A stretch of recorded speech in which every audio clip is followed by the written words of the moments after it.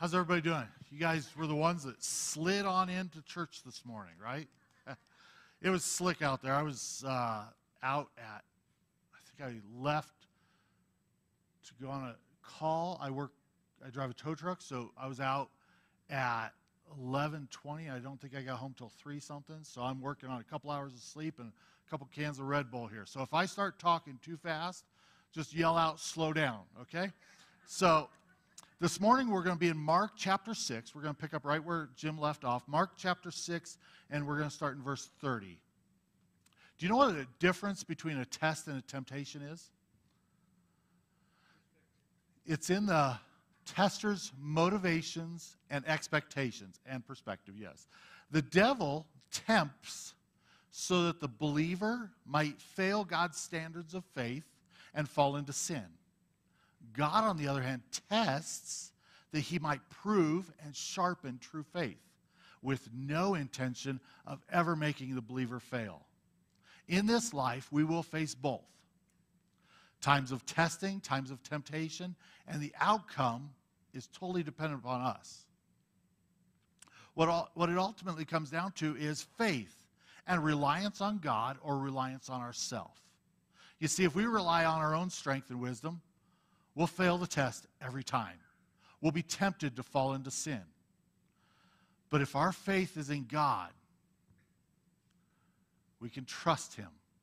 We can rely on His promise to cause everything to work together for the good of those who love Him. Amen? So, though failure, when being tested, doesn't always lead to direct, outright sin, often the test was to see how much we truly t- trust God. When testing and temptations do come, we trust.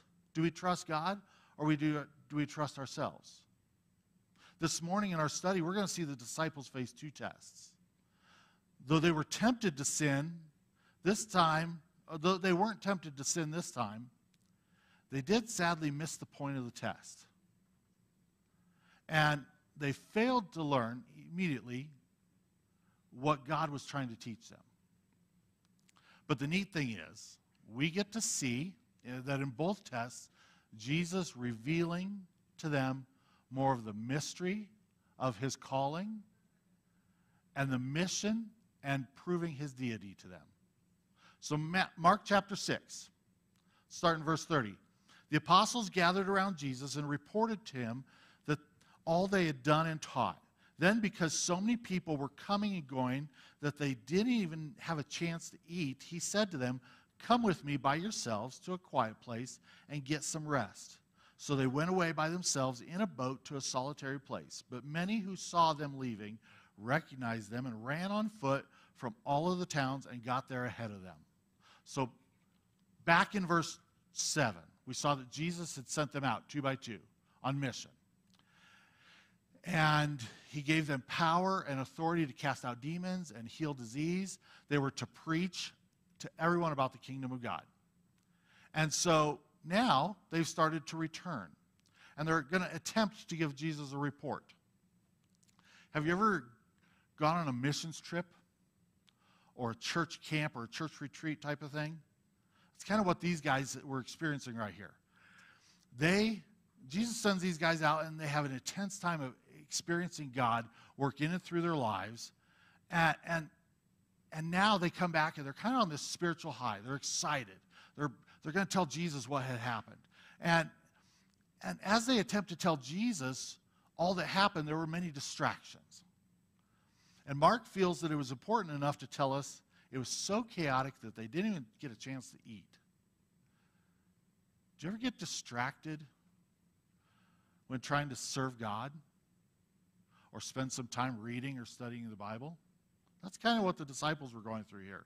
They're on this spiritual high coming back from this missions trip, and they get distractions. And then to add insult to injury, because so many people were coming and going, they don't even have a chance to eat, which I don't know about you, but when I don't get a chance to eat, I kind of get hangry. and what happens when we get hangry? We, we become irritated or impatient. We lose our cool, right? So they had just come down from this mountaintop experience. They had been used by God, and now their faith is being tested. That seems to be how it goes, though, right? You come down from this mountaintop experience, and all of a sudden you get tested. You have an awesome time in the Word, and somebody cuts you off in traffic.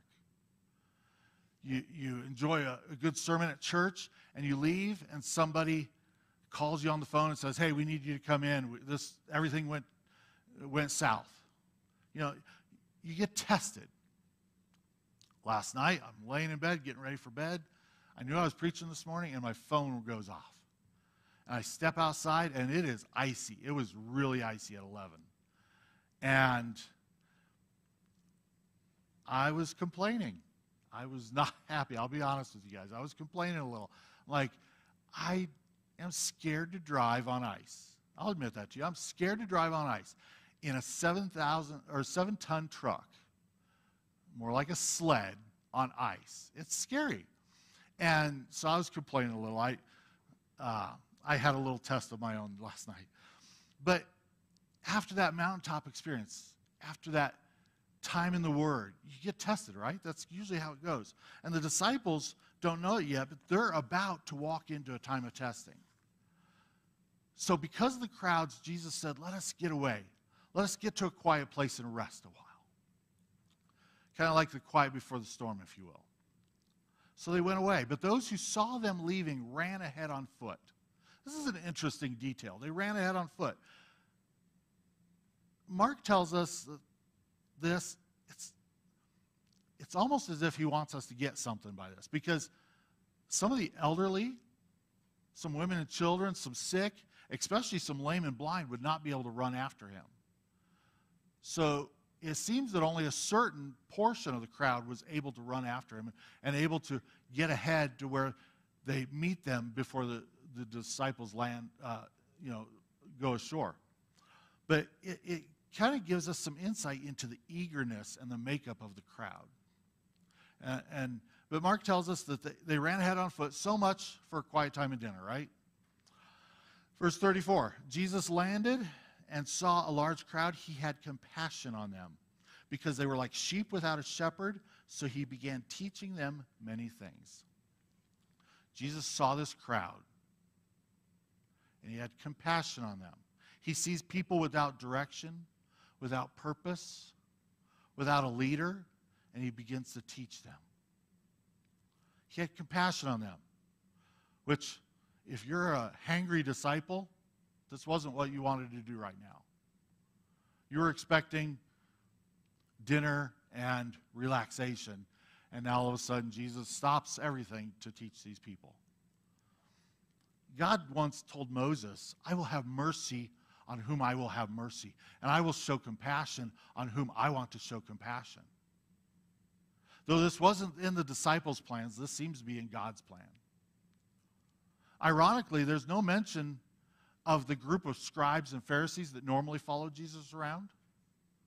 And I wonder if that's because they are supposed to be the leaders, they are supposed to be the teachers, and they're missing from this equation. But Jesus sees this crowd and he has compassion on them uh, because Mark tells us they were like sheep without a shepherd. The description of this crowd is obviously a metaphor for the lack of care and leadership. Kinda, it's kind of the same description used in the Old Testament for Israel in the wilderness when Moses was about to pass off the scene. See, when Moses was about to, to pass away, he asks God, who's going to succeed? Who's going to take over? Who's going to lead these people? And in Numbers 27, we read Moses said to the Lord, May the Lord, the God who gives breath to all living things, appoint someone over this community to go out and to come in before them, one who will lead them out and bring them in so the Lord's people will not be like a sheep without a shepherd. Lord said to Moses, Take Joshua, the son of Nun, a man in whom the spirit of leadership, lay your hand on him, have him stand before the priest and the entire assembly, and commission him in their presence. Give him some of your authority so the whole Israelite community will obey him. When Moses was ready to pass off the scene, God says, I've got somebody ready to go. Because God did not want Israel to be like sheep without a shepherd. In the Proverbs, tells us, why, without wise leadership, a nation falls. There is safety in having advisors. And with this crowd, where were the teachers? Where were the spiritual leaders? Where were the rabbis? And I'll be honest with you. This is what America is coming to. This is what post Christian nations have become sheep without shepherd, people carried away by every wind of doctrine. Because that's what steps in when leaders step out. Every wind of doctrine to tickle people's ears. That's what, that's what comes in. People will follow after anything without a leader. And that is why here at Calvary Chapel Eastside, we are dedicated to faithful preaching and teaching of God's Word, verse by verse, chapter by chapter, week in and week out.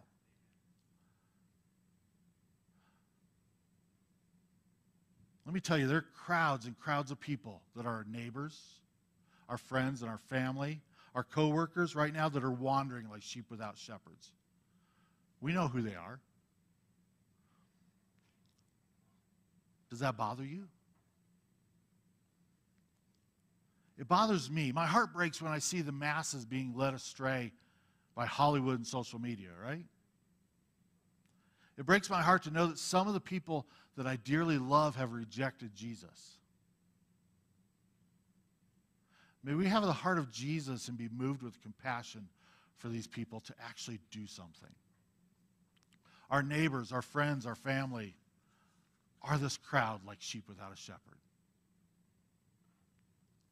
Now, the disciples were getting ready, they're getting ready. They're getting ready to eat. They wanted food. They were getting hungry, hangry at this point because in verse 35, they asked Jesus to just send away the crowd. Verse 35. By this time, it was late in the day, so his disciples came to him. This is a remote place, they said, and it's already very late. Send the people away so that they can go to the surrounding countryside and villages and buy themselves something to eat. Imagine it went something like this eh, Jesus, hey, hey, we're getting a little hungry. Can't, can't you just send them away? Isn't it time for them to go home? I mean, we're supposed to get away alone, remember? Uh, we're supposed to have dinner, not entertain a crowd. Can't you send them away to fend for themselves? Is what they said. Isn't this the crowd that, that Mark just described as sheep without a shepherd? Jesus was the only one who had compassion for these people because the disciples just wanted the distraction to go away. Verse 37 But he answered, You give them something to eat. They said to him, That would take more than a half a year's wages. Are we to go and spend that much on bread and give it to them to eat? They asked Jesus to send this crowd away because it's getting late and the people are probably getting hungry. To which Jesus required, re- replied, You give them something to eat. Here's the first test of their faith Jesus commands them to do something. Are they going to obey or are they going to balk about it? They start off with the standard excuses it's too much money. Are you suggesting we spend that much money on bread and just give it to them? The magnitude of the problem seems too great for the disciples, too much for them to handle, too big for God, maybe. Moses encountered kind of a similar situation. Moses thought it was impossible to feed all of the Israelites in the, in the wilderness. Moses speaking to God, he goes, Where can I get meat for all these people? They keep wailing to me, Give us meat to eat. I can't carry all these people by myself. Sound familiar? The burden is too heavy for me. That would cost too much. Would they have enough if the flocks and herds were slaughtered for them? Would they have enough if all the fish in the sea were caught for them? Moses is looking at two, three million people, and he's wondering, how, how am I supposed to feed these people? Moses, like the disciples, was like, What do you expect me to do? And God's response to Moses is telling, kind of what Jesus is about to do. The Lord answered Moses, Is the Lord's arm too short? Now you will see whether or not what I say will come true for you. This is what Jesus is about to do. The disciples totally disregard anything supernatural and only look at the, what they can or can't do. They only think about what they're willing to do. The disciples don't see why this is their responsibility. Even if they had enough money, enough bread, why should they spend it on these people? So not only did they lack the faith to see how it could have been done, they missed out on why it should have been done. So, seeing the response of the disciples, Jesus takes charge in verse 38. How many loaves do you have? He asked. Go and see. When they found out, they said, Five and two fish. Then Jesus directed them to have all the people sit down in groups on the green grass. So they sat down in groups of hundreds and fifties. Taking the five loaves and the two fish and looking up to heaven, he gave thanks and broke the loaves. Then he gave them to his disciples to distribute to all the people. He also defi- divided the two fish among them all. Jesus said, You feed them. And when they said they couldn't, Jesus said, Well, what do you have? John, in his, in his gospel, tells us that Jesus asked Philip to find out what food they had. Probably after all the other disciples were digging through their pockets counting their pennies. But John also tells us that Andrew brings forward a, a young boy with five barley loaves and two fishes. That's where we get that story of the, the boy with the five loaves and the two fishes. But Mark kind of leaves them details out. He's more focused on the response of the disciples and the actions of Jesus here. But the disciples' lack of faith lead them to complain about what they didn't have. Jesus, see pos- Jesus sees possibilities where the disciples only see impossibilities. What Jesus is illustrating here is that God can do anything. The writer of the Hebrews reminds us that without faith it is impossible to please God. Because anyone who comes to him must believe that he exists and that he rewards those who earnestly seek him. The disciples failed their test, but Jesus, looking up to heaven, gives thanks and, and broke the bread and the, divided the two fish. If you were Jewish and the head of a family at a meal, this is how you would start your meals by taking the bread, pronouncing the blessing, breaking it and distributing it. Jesus is acting as a father here. But instead of running out of the loaves and fish, they multiplied as he divided them. We're not told how this actually looked, but this is the only miracle recorded in all four Gospels. So it must have left an impression on their minds. But unfortunately, the disciples did not pass their test of faith. And to prove it, verse 42, then they all ate and were satisfied. And the disciples picked up 12 basketfuls of broken pieces of bread and fish. The number of the men who had eaten them was 5,000. They all ate and were satisfied. This wasn't just a snack. They ate and they had their fill. And even the disciples got to eat. And afterward, the disciples gathered 12 baskets, one for each of them as a reminder of what God can do when we trust Him, right? The number of men who had eaten was 5,000. Mark does not mention women and children. We, we assume there was some there because uh, the young boy with the five loaves and the two fish. But remember, this crowd is mainly made up of those who ran there to meet him. And they all, including the disciples, ate and were satisfied. And then immediately afterwards, verse 45, Immediately, Jesus made his disciples get into the boat and go ahead of him to Bethsaida while he dismissed the crowd. After leaving them, he went onto the mountainside to pray. This seems weird. Jesus immediately shoves his disciples into the boats and he dismisses the crowd, and he goes off to pray by himself. John, in his account, writes Jesus, knowing that they had intended to come and make him king by force, he withdrew himself. That gives us a little insight into this. This wouldn't make sense why he'd send the disciples away, except when we go to John's gospel, we read that Jesus knew that they intended to take him as king and make him their king. And so he didn't want his disciples to get caught up in this mob mentality, so he sends them away because of the miracles of the feeding of the 5,000, the, the crowds have become so excited they wanted to take Jesus and make him their king right then and there. They wanted to start a revolution against a Roman government. But it wasn't his time. Nor did Jesus come to be king at this point. Jesus came to die a sacrificial death. Nobody seemed to understand this at this point. He came to die a sacrificial death for the sins of the whole world, so that all who believe in him could be forgiven and reconciled to God. Yes, one day God, Jesus will return as the conquering king, but this wasn't his time. This wasn't God's plan. So he ushers the disciples into a boat and dismissed the crowds. After leaving them, he went on the mountain to pray. The mention of prayer in this context is a further clue that they wanted to take Jesus by force and make him their king because Mark only mentions Jesus praying three specific times in his entire gospel.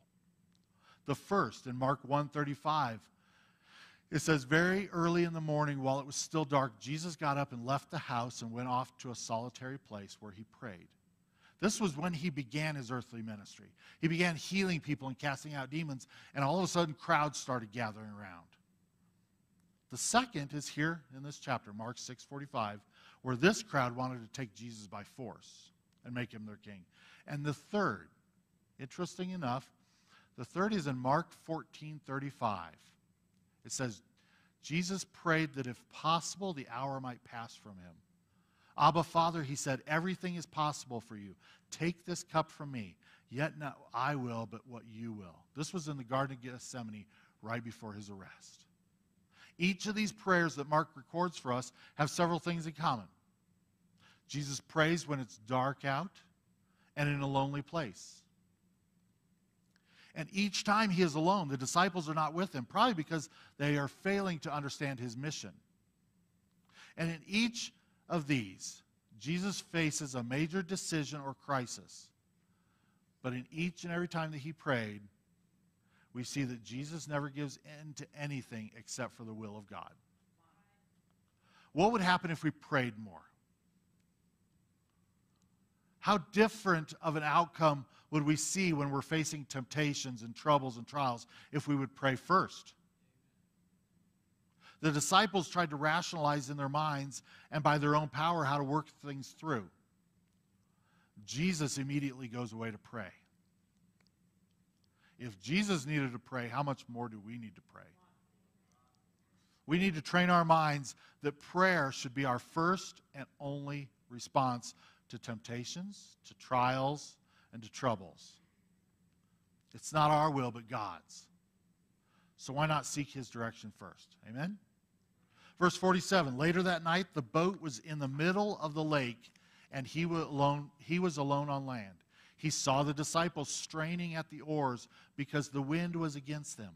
Shortly before dawn, he went out to them, walking on the lake. He was about to pass them by, but when, he saw the, when they saw him walking on the lake, they thought he was a ghost. They cried out because they all saw him and were terrified. Immediately, he spoke to them and said, Take courage, it is I, do not be afraid. So later that night, they're in the middle of the lake. Pay attention to that little detail there. The, the boat wasn't stuck on some sandbar, it wasn't near the beach, it wasn't in a shallow section. It was in the middle of the lake. Generally, what's the deepest part of the lake? The middle of the lake, right? And Jesus looks out and he sees the disciples straining because the wind was against them. And he walks out on the water to them. This had to be supernatural. He wasn't walking on a sandbar or anything like that. It was supernatural. This is test number two for the disciples' faith. Jesus sends them off to the other side on the boat. They don't seem to be any, in any danger like the previous time when Jesus was asleep at the back of the boat. But it says that they were in the middle of the lake, probably because they were unable to make any progress because of the wind. But this word straining, interesting enough, means tormented. They were being tormented by the wind and the waves. We get no indication that this was demonic or anything. Rather, they were tormented by the force of the wind and the waves, something natural. Jesus said, In this life you will have trouble. Sometimes the troubles of this life torment us, don't they? This wasn't anything other than the troubles of this life and you know what? Jesus was the one that sent them out there. Ever feel this way? Trying to be obedient to God, trying to obey, and it seems like you just got sent into a storm that torments you? If there was ever anyone in the Bible who could relate to this, it's Job in the Old Testament. He was doing, he's out there doing his own thing. We're told that he was blameless, a man of complete integrity. He feared God and stayed away from evil, and yet God allowed Satan to torment Job. Why? Well, if you read the book of Job, it was to produce a greater faith in Job. Storms come to produce a greater faith in the one being tested. James in James chapter 1 writes, Consider it pure joy, my brothers and sisters, whenever you face trials of many kinds, because you know that the testing of your faith produces perseverance. Let perseverance finish its work so that you may be mature and complete, not lacking anything. God allowed J- uh, Satan to test Job, and Jesus sent his disciples out on the boat to test them, to strengthen their faith in him. Ironically, throughout the Bible, we see that when the test is passed, the faith of the one being tested is always stronger. At the end of the book of Job, Job's faith in God was much stronger than in the beginning. The disciples' faith will grow through this, though, though it's going to take some time. They'll look back on this and it, will have caused their faith to grow. But this is why James has the audacity to tell us consider it pure joy when you face trials. In fact, uh, interesting enough, the, the word in James, translated there as trials, and later translated there as tempted, are the same word.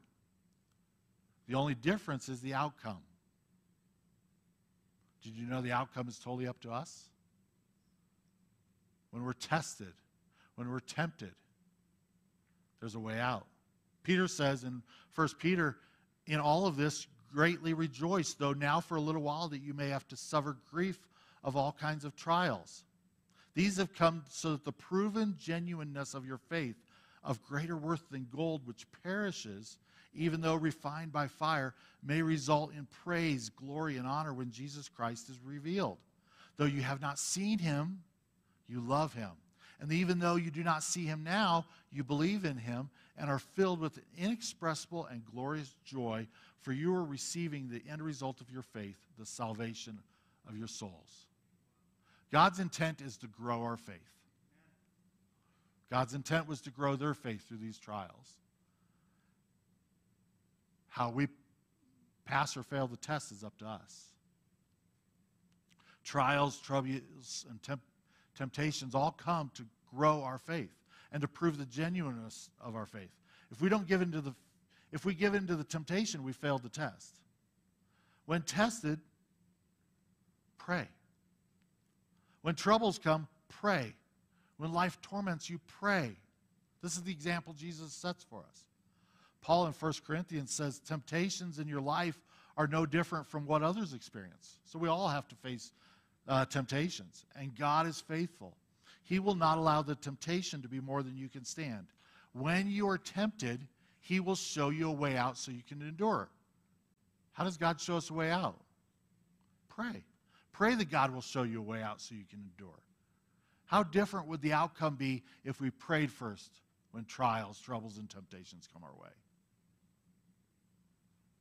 Let me tell you, this morning, 2 a.m. or whatever time it was, I should have been praying rather than grumbling. I'll be honest with you guys. I should have been praying rather than grumbling. I, I was complaining about the ice. It was cold. It was the wind was blowing. This car was not coming out of the. It was in a drainage ditch. She had managed to land 20 feet down, 200 feet off the road in a drainage ditch, and it was not coming out easy. And I was complaining. What would have happened differently? I'm looking back on this if I would have been praying instead of complaining. But back to the second half of verse 48. Shortly before dawn, Jesus went out to them walking on the water, and he was about to pass by them. Remember, they're in the middle of the lake, the deepest part, so there's no other explanation other than a supernatural act, a miraculous event. But it says that he was about to pass by them. I love this. If you never spend any time reading and studying through the Bible, you'll miss these little things that tie the entire Bible together. And this is one of them. Because they didn't have chapter and verse breaks, that's kind of a modern invention, they had to use phrases and words to associate to another passage. And what they would do is they would use a phrase like here, the, uh, he was about to pass by them. And in this instance, you would read that. If you were back in these days, you would read that and you'd be like, that reminds me of another passage. Mark writes that he was about to pass by them. Where have we heard that phrase before? Pass by. In Exodus 33, we read that Moses asks God to show him his glory. You remember that section? He's like, God, show me your glory. And the Lord said to Moses, I will cause my goodness to pass in front of you, and I will proclaim my name, the Lord, in your presence. I will have mercy on whom I will have mercy, and I will have compassion on whom I will have compassion. Interesting that that's all in the same passage as well.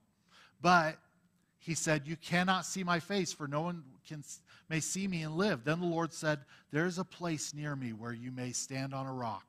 When my glory passes by, I will put you in a cleft of the rock and cover you with my hand until I have passed by. Then I will remove my hand, and you will see my back, but my face must not be seen. God tells Moses, I will cause my goodness to pass by in front of you, but you cannot see my face and live. But when my glory passes by, I will protect you until I have passed by. You see, this wasn't simply Jesus racing them to the other side. In the midst of their torment, Jesus re- was revealing to more of himself to them. He was showing them his glory as the one and only Son of God. That's what Jesus was doing here. In the book of Job, Job describes God as having the ability to do what humanity cannot or could never dream of doing. Job says his wisdom is beyond compare. He moves mountains, shakes the earth, obscures the sun, arrays the heavens in splendor, and he performs wonders that cannot be fathomed, miracles that cannot be counted. When he passes me, I cannot see him. When he goes by, I cannot perceive him. He alone stretches out the heaven and treads on the waves of the sea. Jesus walking on water, performing wonders they could have never imagined, was only something God could do. And here Jesus is walking on waters, passing them by, proving to them his deity, that he is the one and only true Son of God. This was just for them. Nobody else got to witness it, just them. Jesus, right before their eyes, proved himself to be God, and their response? They were afraid. They think he's a ghost. But he says, Take courage, it is I. Another one of those little phrases that tie everything together. This phrase, it is I, in the Greek is identical to when Moses asked God, Who, who shall I say is sending me? And God says, I am. It's the exact same phrase. So in this passage, we see that Jesus not only walks where God can walk, but he also claims his name. Only to the disciples, though. We had a crowd that was ready to push Jesus into the forefront, push Jesus into a ministry. Jesus leaves to pray, and then God leads him to reveal more of himself to the disciples. And they're not passing this test real well. Mark tells us when they saw him walking on the lake, they thought he was a ghost. Probably a little superstition left over from fisherman days. But they cried out because they all saw him and were terrified. They all did. Quite literally, they cried out in a shriek of terror and screams of fright. Jesus takes off walking across the water. And side note, he was probably making better headway than they were. But these grown men, these muscular fishermen and, and carpenters and such, with all their muscles and all their might, they're rowing away. They look over, they see this, what they think is a ghost, and they are now screaming like little schoolgirls. They, they're afraid. Matthew, in telling his narrative, he adds the additional information that Peter requests Jesus that he can come out and walk on the water. Remember that story when Peter walks on the water, he's going to, going to Jesus?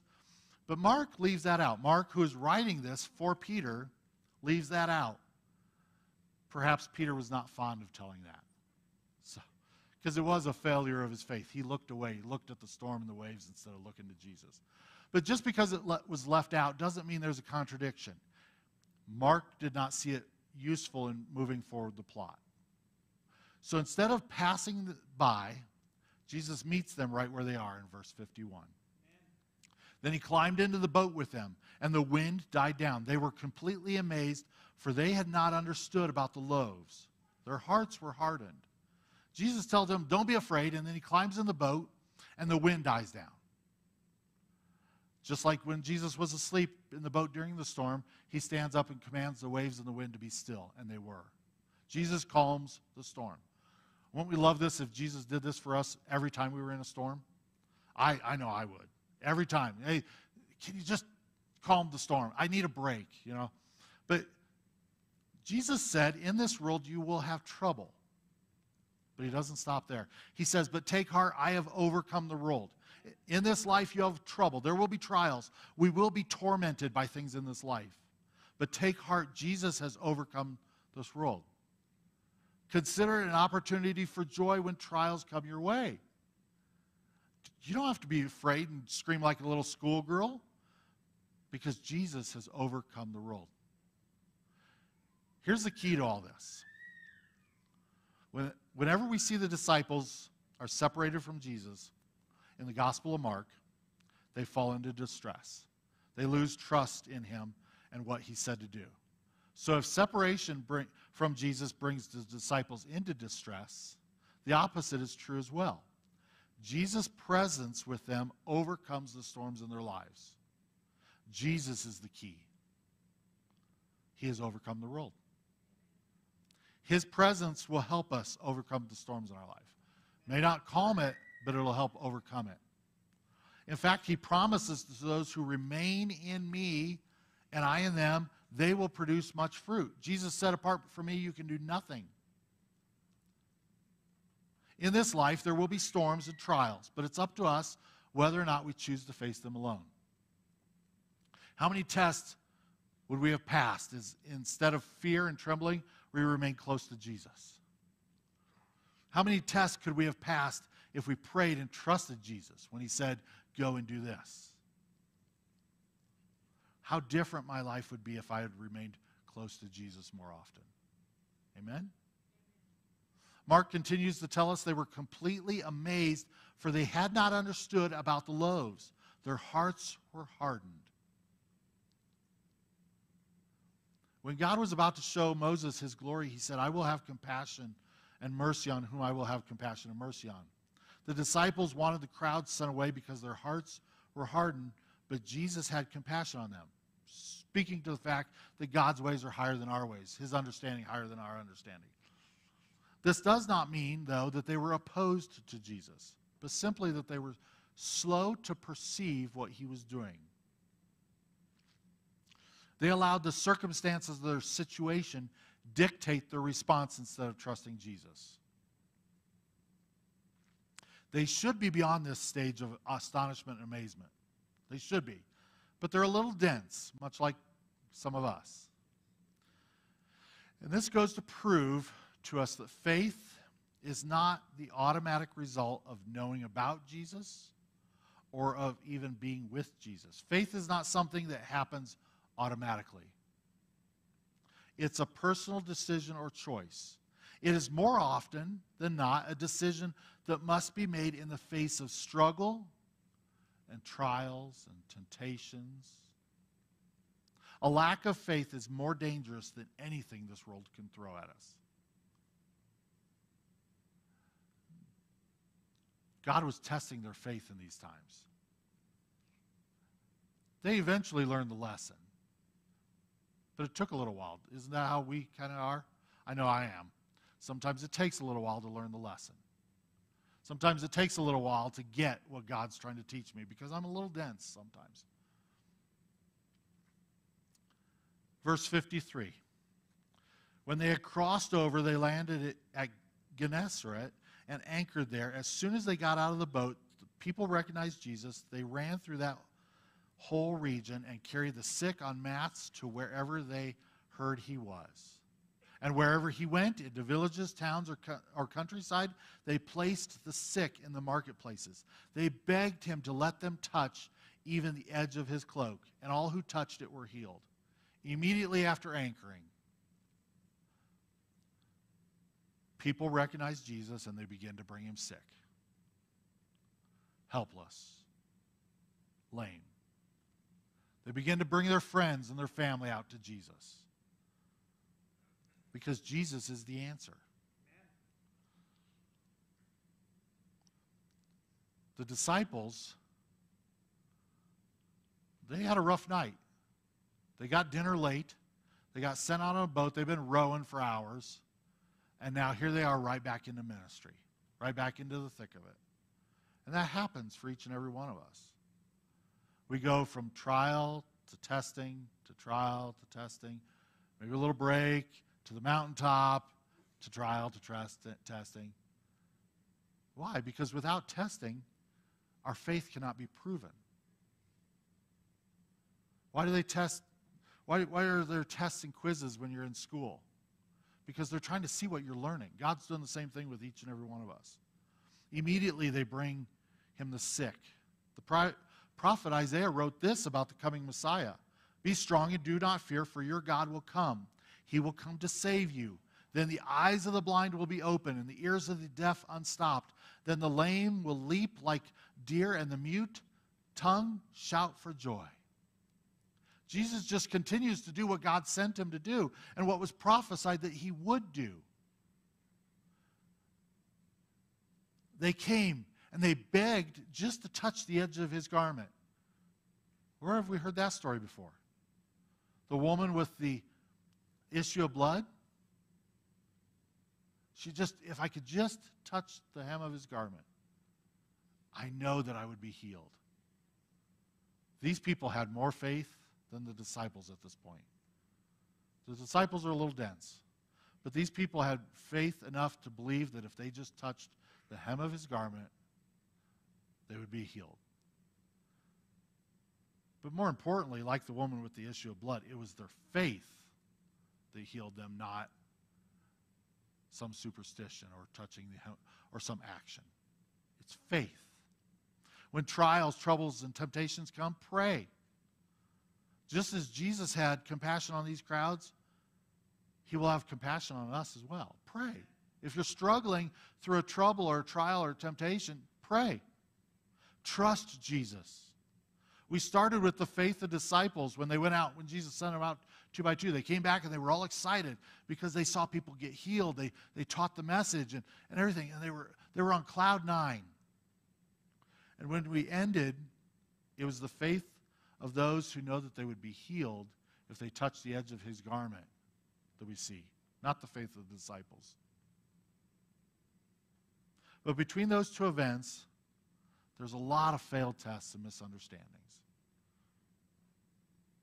But Psalm 86:15 But you, O Lord, are a merciful and gracious God slow to anger, and abounding in steadfast love and faithfulness. God didn't just discard the disciples because of their lack of faith. Jesus wasn't like, you know what, you guys aren't getting this. I'm going to find some new people. Hey, these people have a lot of faith in me. I'm going to, I'm going to go get them. Jesus doesn't do that. He continues many more chapters dealing with the disciples' denseness and not getting it and stuff. Though failure, when being tested, doesn't always lead to direct, outright sin, more often than not, the test was to see how much we truly trust God. When testing and temptations come, do we trust God or do we trust ourselves?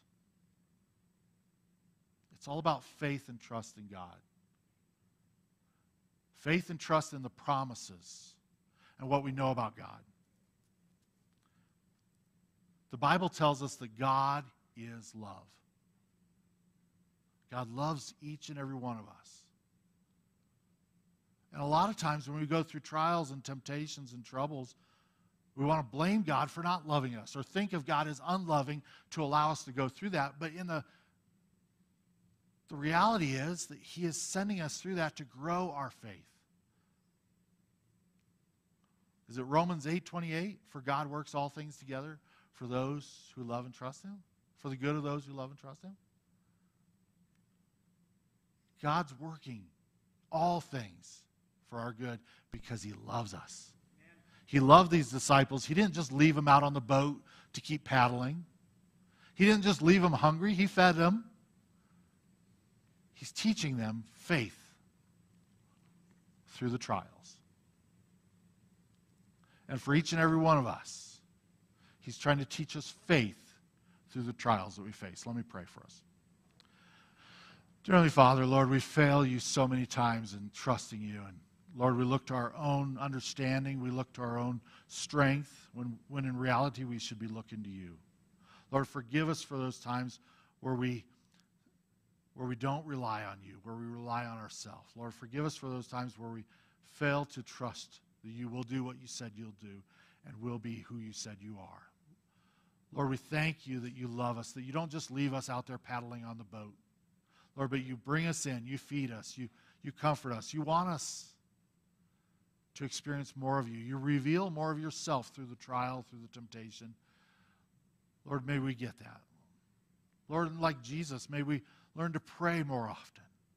May, we, may our instinct be to run to prayer instead of running to self. Lord, we thank you. We praise you that you never leave us, you never forsake us, and you're always wanting to work through us and in us. Lord, as we go from this place, Lord, may we may you grant us traveling mercies. Lord, it's a little slick. We just pray that you would keep us all safe. Lord, and for the trials that we face today. Lord, may we understand that you're working that to our good, to our benefit. Lord, thank you for everything you've done in and through our lives. Lord, we can't wait till the day we stand before you. And all this, all, all these things will pass away, and we get to see you face to face. Lord, we can't wait for that day. Lord, but we understand there's many people yet who need to come to know you. So, Lord, may we have compassion on those who don't know you. May we, may we step forward and do something. May, may you use us to reach our friends and our family and our coworkers and our neighbors so they can come to know you as we know you. Lord, Lord, we pray for the lost of this city. And we pray for, Lord, I pray for each and every one here, Lord. I know there's a lot of things going on. Lord, I just pray that you would be working in each in and through each and every person in this place. Lord, I thank you for these people. I thank you for their dedication to you. Lord, I pray that you would strengthen their faith today.